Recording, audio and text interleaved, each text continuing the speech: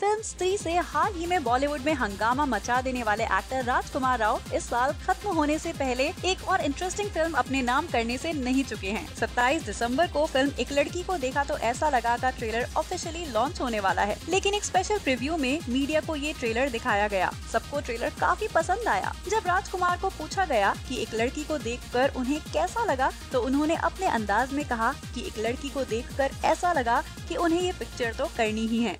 Lung जानी है।